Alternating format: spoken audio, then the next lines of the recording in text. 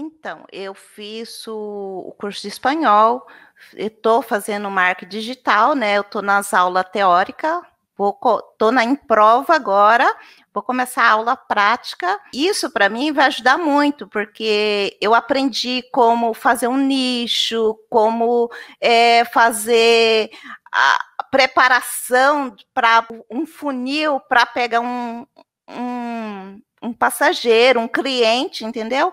Isso para mim está sendo muito bom para o meu crescimento, né? E lógico que eu comecei o curso de marketing digital, eu não tinha feito o seu curso, eu não conhecia ainda, né? E, e agora ele é uma casou, entendeu? Os dois cursos, para mim, excelente. Isso vai me ajudar muito futuramente.